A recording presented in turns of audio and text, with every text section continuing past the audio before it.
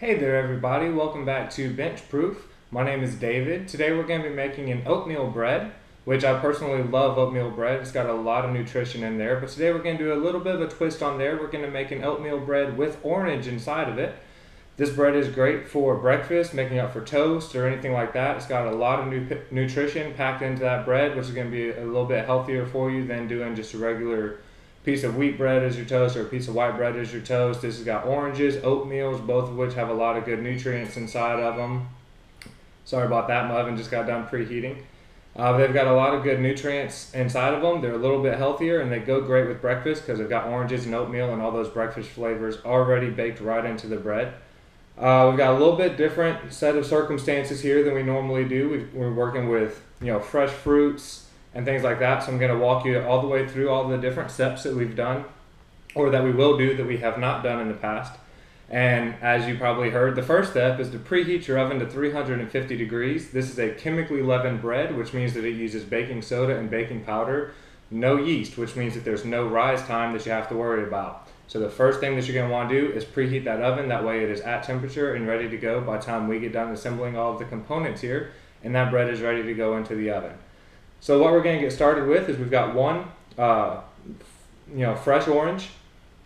And what we're going to do is we're actually going to take the zest off of this orange and we're going to be using that in the bread as well. And for that, I use a, some people call it a microplane grater or a micro grater or just a microplane. What it is basically just one strip of metal with very small holes in there, a lot smaller than like a, say a box grater would have. These come in very handy, not only for zesting any kind of citrus, but also grating fresh nutmeg into a recipe or even fresh ginger. They're very, uh, or even Parmesan cheese. Instead of using the little bitty holes on the side of your box grater, this works much better at grating Parmesan cheese. Um, it's very useful. If you don't have one, I'd suggest getting one, but if you don't have one, don't want to, don't have the money, I understand. I'll show you a little trick that you can use to get the zest from the orange a little bit later on if you don't want to use uh, this system. So first thing that we're going to do is we've got a bowl here to catch our zest and we're just going to zest the entire orange all the way around. You want to make sure that you get only the orange part and you leave the white part underneath. That's called the pith and it is incredibly bitter, not good for any kind of culinary use at all and you want to make sure that you keep as much of that as possible out of your zest. And this microplane grater has teeth going uh, both directions, so it's not just one way. You get double the uh, double the zest off. It makes it go a lot faster. And because zesting an entire orange can take a little bit of time, so I'll get to it and I'll be right back once I get done.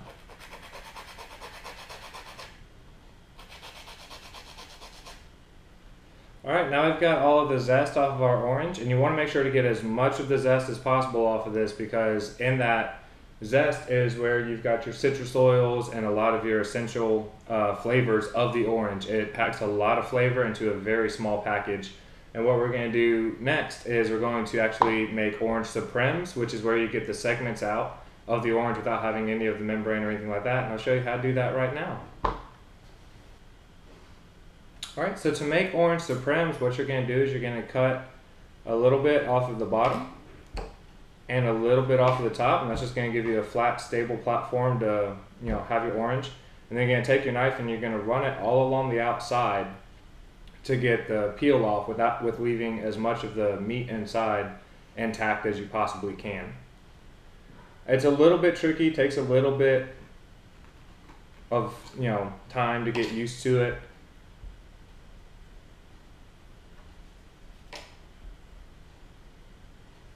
Because they obviously mine are still not not perfect. I'm not you know looking to be Iron Chef here or anything like that.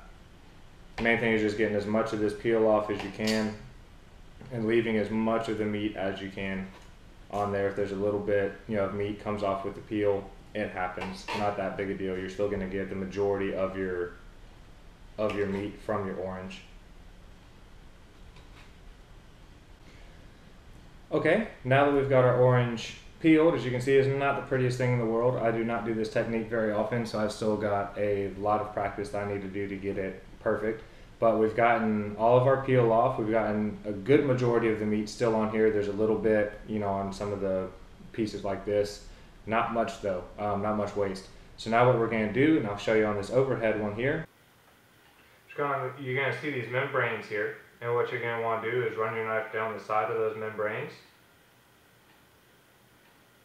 And that is going to cut out a segment of orange and it's going to leave the tougher membranes there so that those do not get in the bread. And you're going to do that all the way uh, around this orange. Get all the segments out, leave all the membranes and seeds that you can. And then we will get back to you on the very next step.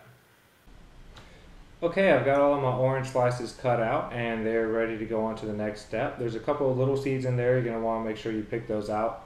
Uh, you know, as best as you can. And if you need to trim off a little bit of the membrane, you know, after you take the segment out, that's perfectly fine too not looking for perfection on your first try at all. Um, I forgot to show you the little trick to get the zest. If you don't have a microplane grater or you don't want to use a microplane grater, what you can do is skip straight to this step where we cut the top and the bottom off and then cut the peel off of the orange. And what you can do is you can take your knife and uh, with the back side, it's harder to do now since the zest is gone. What you can do is you can uh, you can rub the back side of your knife and that'll scrape uh, scrape away the pith there. Like I said, it's, it's harder to show on this one because it's nothing but pith. Um, but it scrapes all the pith away, and then you're left with you know just a slice of zest, and then you can just cut that up with the knife, you know, to make it smaller, like what our microplane grater makes. It's a little bit more complicated. Um, you got to have a little bit better knife skills uh, to be able to do that. But like I said, if you just don't want to get one or you don't have the money to get one, you can still make this exact same recipe perfectly fine. Some people use a box grater I personally try not to do that because a box grater's got deeper teeth on it, so it tends to get more pith than zest, uh, just because it makes a deeper cut into the actual piece of fruit itself. So now what we're going to do is we're going to take all of our orange slices that we just got, put it into the same bowl with our zest, and then I'm going to add two tablespoons of just regular old sugar. Just kind of stir those up with my hand a little bit. And what this is going to do is this is a technique called macerating. We're going to macerate these oranges here, make them a little bit sweeter, bring out their juices, and we're going to let them sit, and then we're going to assemble the next couple ingredients. To clear off my uh, cutting tray here though, and then I'll be right back for the next sequen uh, sequence of events. Alright, now that I've cleared my cutting board out of the way and washed my hands a little bit, uh, the next step is I have here uh, two tablespoons of melted butter and I'm going to add two eggs to that and then beat the eggs together with the butter.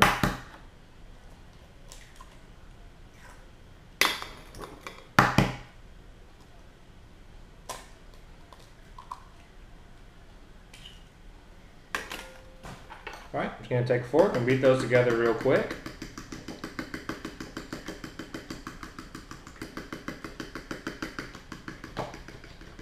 You want to make sure that after you melt your butter, you let it cool just a little bit after it comes out of either the saucepan or the microwave, whatever you're using to melt your butter. You don't want to add your eggs straight to hot butter. You want to cool it down enough so that it's still melted and still, you know, still liquid, but not so hot that it's going to automatically curdle your eggs and give you scrambled eggs inside of your bowl. With this same fork, what I'm now going to do is the, the oranges have been sitting in the sugar mixture for a little while, and I'm just going to take this fork and just kind of mash them up. Mash them against the side. And kind of cut them into small pieces. You can cut your orange slices into smaller pieces uh, before you put them in the sugar. Actually, you're supposed to, but I forgot to.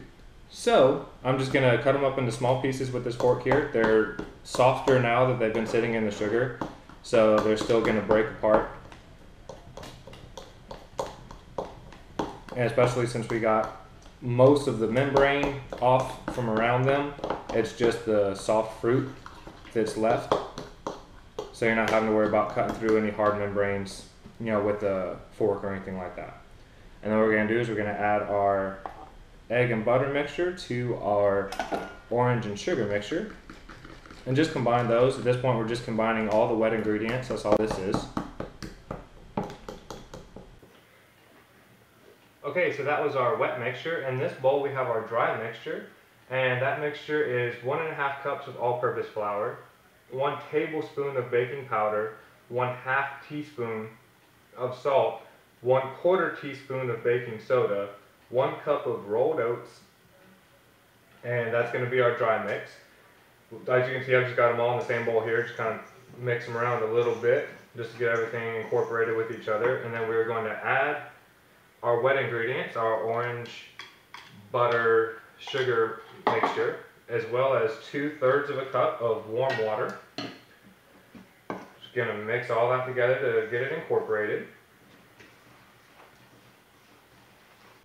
Okay, we've got all of our ingredients mixed up here very well. It's a very wet batter, which is fine because it's going to be a steam risen loaf, so you want it to be fairly wet. I forgot to mention that there's also three quarters of a cup of additional sugar in the dry ingredients. So you have the two tablespoons that went onto the oranges. You have three quarters of a cup that goes into the dry ingredients as well. But now we've got that all mixed up. Gonna take a, I take a nine by five. You can either do a nine by five, that'll make one loaf, or you can do uh, two smaller loaves in like a seven by three pan. Um, and you can that way if you're not gonna go through it as fast, you can freeze one whole loaf and then work on the other loaf. My brother loves this bread though. My roommates love this bread, so it goes by pretty fast. So I just make one nine by five loaf. Um, I've already coated it down the exact same way that we have in all of our other videos. It's just that baker spray that's no stick spray with flour already integrated into the spray. And we're just gonna put our mixture in.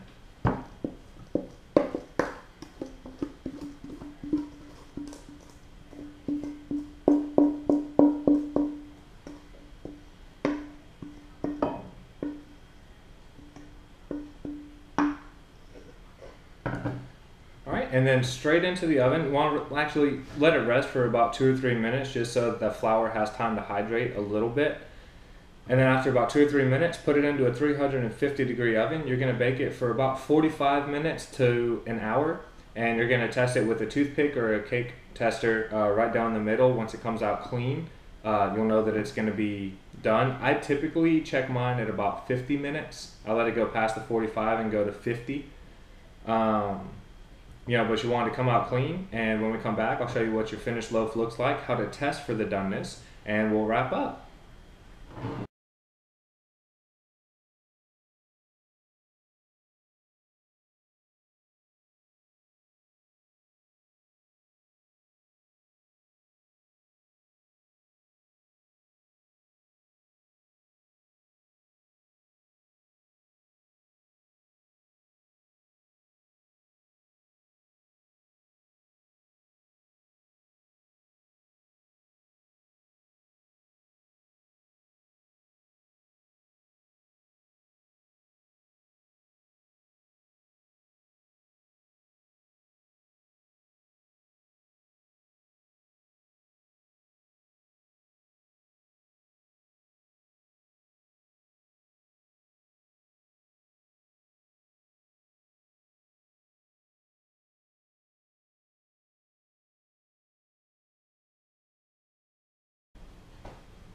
All right, everybody, welcome back. Our orange oatmeal bread is out of the oven, and I wish you could smell this. The whole house smells delicious. Um, as you can see, it's risen a little bit. It's not supposed to be up out of the pan or anything like that. Uh, it's got a nice golden brown color to it. We're going to test it with a toothpick to make sure that it is completely baked. What you want to do is you want to take your toothpick and go right down into the middle and pull it out See how there's really nothing on that toothpick there? There's a little bit of crumbs, but that is perfectly fine. If it wasn't done, it would still have a good bit of batter clinging to it. It would look completely, you know, almost completely covered with batter. Uh, little crumbs like that are not a problem at all. It's completely baked. What you're going to want to do now is you're going to want to let it sit in the pan for about a half an hour and then take it out of the pan, put it on the cooling rack, and then let it come to room temperature on the cooling rack before you cut it or anything or store it. Put it in a freezer bag. If you made two loaves, put one loaf in the freezer. Freezes very nice. If not, if you did one loaf or if you made two but want to use one of them, still put it in a Ziploc bag or just wrap it in. I wrap mine in aluminum foil and then just keep it out at room temperature. It'll keep for about three or four days. Um, once again, no preservatives in these, so they go stale and they go bad a lot faster than store bought uh, store bought breads. So you're going to want to use it fairly quick, or you can go ahead and slice it and then freeze the individual slices if you want to. Um, if you made one loaf, that that works perfectly fine too. I hope you really enjoyed this bread. If you've got an idea for a bread that you want to see me make, please leave me a comment down below. Uh, thank you for watching the video. As always, uh, please leave me a like if you like the video. Please subscribe to my channel for more how-to and instructional videos. Thank you very much for watching and have fun baking.